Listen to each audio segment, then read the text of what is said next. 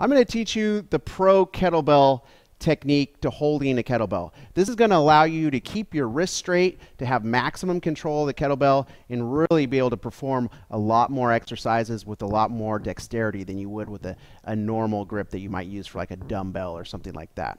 And because the kettlebell rests with the weight of the kettlebell off center, it's going to require you to take your whole hand and wrist and slide it through this window here as far as you can go at about a 45 degree angle.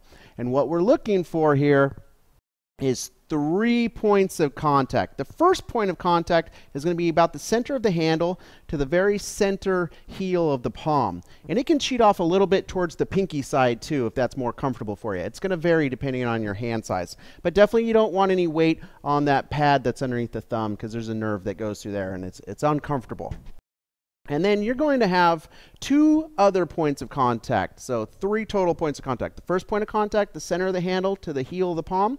The second point of contact is, we call this portion of the kettlebell the horn, and this is also the horn. This horn here is going to rest up against this part of my wrist here. This is my ulna. And then the bell or the base is going to rest against this part of my wrist here. This bone here is called my radius.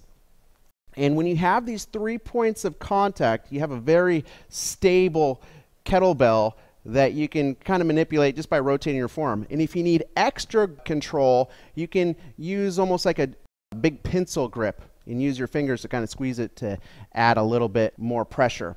And if you even gooseneck your, your wrist over a little bit, that'll really wedge it in there nice and tight. And you'll notice that I'm wearing some wrist guards here. There's nothing special about these. These are just terry cloth wrist guards off of Amazon. So any sort of padding on your wrist will do when you're learning. I don't wear them anymore, but I do find that people learn a lot easier when they're not worried about the discomfort when you're just learning how to hold the kettlebell.